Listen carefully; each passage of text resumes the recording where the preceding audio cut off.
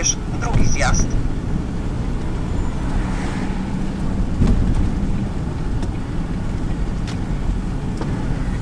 Za 100 metrów wjedź na rondo, wybierz trzeci zjazd.